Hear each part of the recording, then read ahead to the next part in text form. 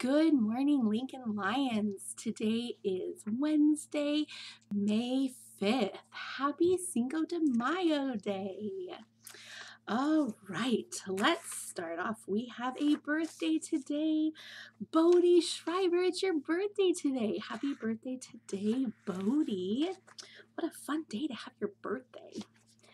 Let's see, for lunch today we have a hot diggity dog or a PB&J sandwich and it's tater day.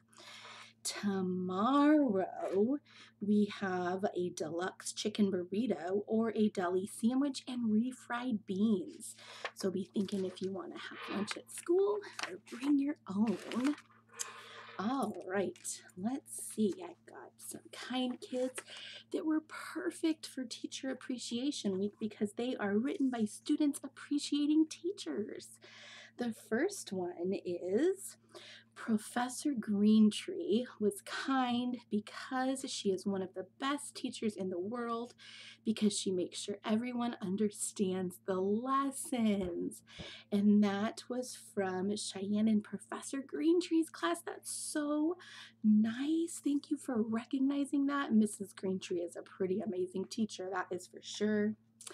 And the other one I had here is Miss Megan was kind because she helps me and the other kids understand stuff that we are having trouble with. And that was respectfully submitted by Amara in Mrs. Kramer's class. So thank you, Amara, for noticing that with Miss Megan. I love, we have the best teachers here at Lincoln. I tell you, we sure do. Um, let's see. Oh, here's another teacher one in honor of Teacher Appreciation Week. Mr. OK Carr was kind because he allowed me to become a junior coach.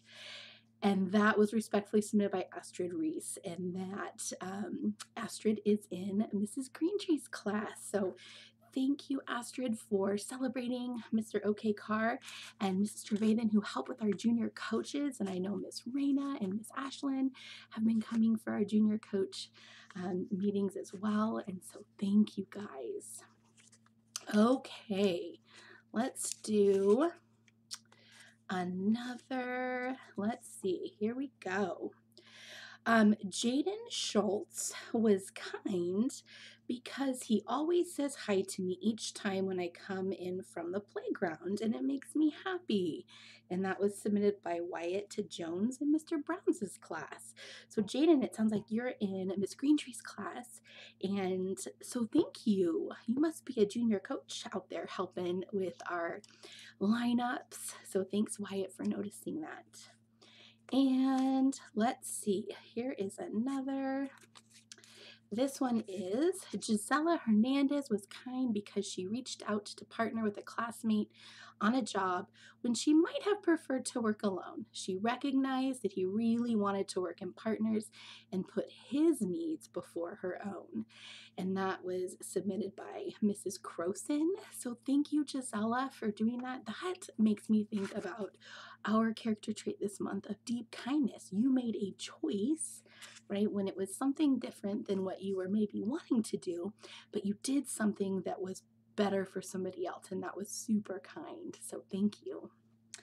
Okay, speaking of that, I have a fun little picture today that I thought you could talk with your class and see, or even just think in your brain, how does this picture show kindness? So here we are. We've got a bear, I'm trying to line it up right, Ooh, a bear and a fox, and we've got a kite, and it looks like it might be stuck in a tree. Oh my goodness. So how does this show kindness? What do you notice is kind in this photo? So kind of interesting, right? I noticed that there's a friend who looks like he stopped to help, right? And that's super nice. And I noticed that, boy, they're both working hard together, having that teamwork. So, pretty fun. All right, our Mr. Brown's Thinking Like Lincoln um, precept for today is something that again has to do with our character trait for this month of deep kindness. And so I've got a a message for you. It says here, Oop, let me get it lined up. I have horrible hand eye coordination, I tell you. This way.